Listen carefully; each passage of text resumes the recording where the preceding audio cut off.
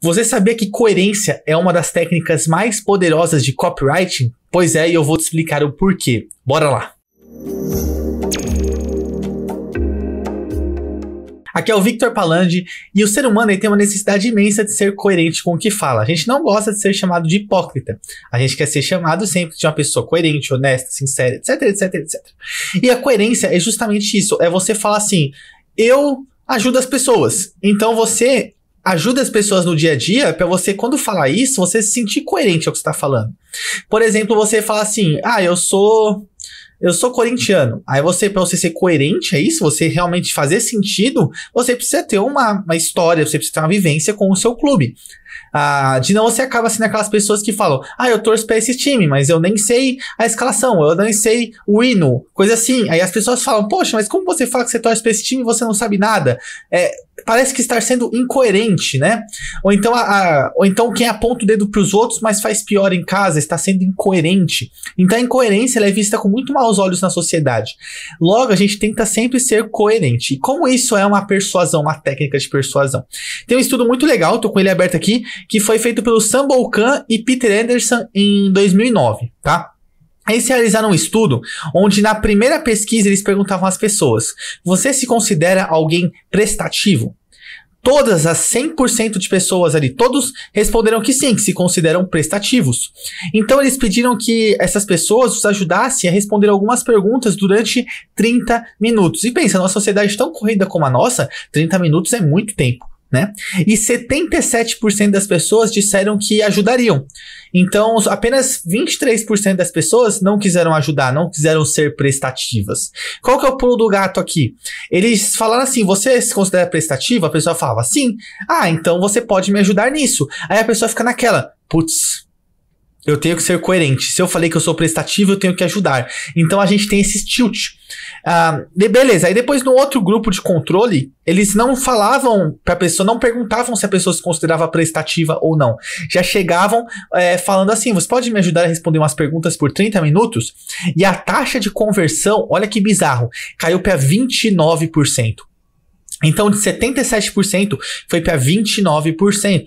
E isso mostra que quando você não faz a pessoa se comprometer, não diz, dizer alguma coisa que vai comprometê-la no futuro, ela tem uma grande chance de de não tentar ser coerente, né? De não ter essa pressão. Porque ela falou assim: eu, eu me considero prestativo, então ela sente na responsabilidade de ser prestativa.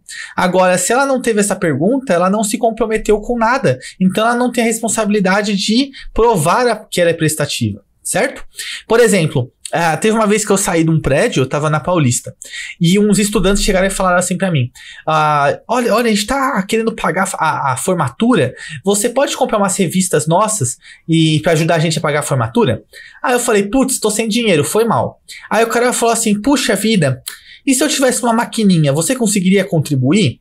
Aí eu falei: conseguiria né? Então eu pensei que fosse tipo uma pesquisa, né? Pro cara você tava pensando em comprar uma maquininha, trazer uma maquininha. Então eu disse, ah, sim. Aí olha que louco. Ele tirou a maquininha do bolso. Ele falou assim: ah, então você pode me ajudar. Eu tô aqui com uma maquininha. E aí eu fiquei numa sinuca de bico, porque eu falei que se tivesse uma maquininha, eu ajudaria. Quando ele tirou a maquininha do bolso, para eu ser coerente, eu deveria ajudá-lo. Então eu fui lá e, e, claro, doei ali, acho que. Eu falei que iria doar dois reais. Ele falou, poxa, dois reais é pouco. Pode doar cinco, eu te dou uma revista a mais. Aí eu acabei doando cinco reais. Doando não, né? Comprando, entre aspas, que era uma, uma revista velha. Aí eu dei pra minha irmã, que era criança na época.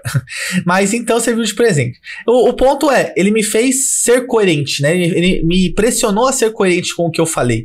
Se ele tivesse simplesmente é, tirado a maquininha do bolso, eu não teria doado os 5 reais. Eu posso garantir isso, eu não teria. Eu doei porque eu, eu tive a necessidade de ser coerente com aquilo que eu falei. E tem um outro estudo é, dos mesmos caras aqui em 2009. Eles perguntaram: Você se considera uma pessoa aventureira que gosta de testar coisas novas? 97% das pessoas disseram que sim, e 75% das pessoas passaram o endereço de e-mail para testar um novo refrigerante que a empresa lançaria no futuro, tá?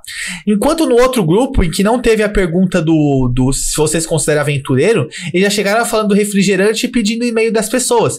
E sem essa pergunta inicial, a taxa de conversão foi de apenas 33%. Ou seja, caiu de novo para menos da metade. Então, olha como a pergunta que antecipa o pedido ela é extremamente importante para persuasão.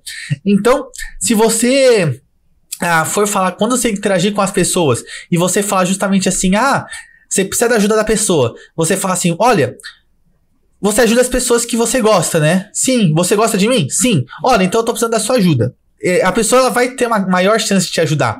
É por isso que essa é uma técnica de persuasão um pouco um pouco. É, eu, gosto, eu gosto de chamar de golpe baixo, né? Porque você sabe que você vai estar, de certa forma, ali jogando com a pessoa. Mas querendo ou não, funciona super bem. Então você pode trabalhar isso na sua copy. Você pode falar assim: você quer ser um grande copywriter? Você está disposto a fazer o que precisa ser feito para crescer?